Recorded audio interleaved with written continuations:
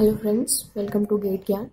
Here in this question we have given a sequence of yn was 1, 2, 3, 4, 5 and we have uh, and we have given that yk be the 5 point DFT of this yn. So we have to find the DFT of yk. So to get the DFT of yk, we'll derive expression for yk. So DFT of yn is given by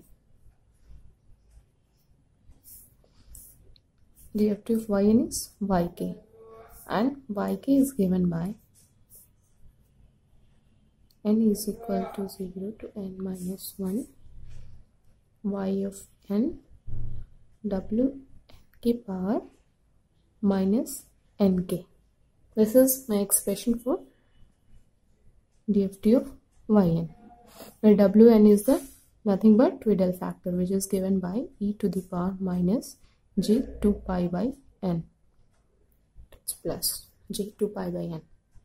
Now and yn expression I can write in terms of IDFT as 1 by n k equal to 0 to n minus 1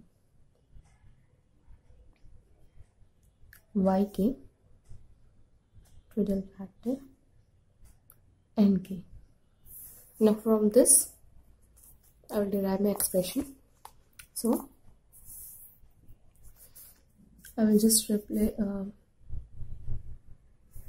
bring this n to this side so it will be n y of n equal to k equal to 0 to n minus 1 yk Twiddle factor and into k. Now in this expression, I will replace my k by x by replacing k to x. So this expression will look like n y n is equal to x is equal to 0 to n minus 1. Wherever we have k, it will be x. So it will be n x. Now, in this expression only, I'll replace replacing n by minus k. So how the expression will look like?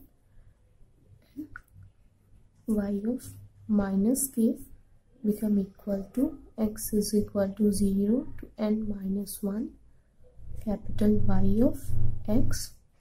This will become and I'm replacing by n by minus k. So it will become minus kx now again I, this since uh, these are the uh, constant term only so I can again replace x by n. So again by replacing x to n I can replace in terms of any variable. So it is it will become n y of minus k equal to n equal to 0 to n minus 1 y of n wn minus kn. Now I can see that from the very first equation I can see that this is nothing but the expression for DFT of it will become expression for DFT of capital YN. This is nothing but DFT of expression for DFT of capital YN. And so if the DFT of capital YN I am getting as n y of minus k then by replacing n by k so DFT of yk I, I will get a I'm replacing n by k. So it will be k will become minus n. So DFT of yk will become n times of n times of y of minus n. And now I can get my answer. So yn we have given so y of minus n will become 1, 5, 4, 3, 2 and this is 5 point DFT so and y of my y of minus n will become 5 times of this expression 1 5 4 3 2 so we'll get our answer.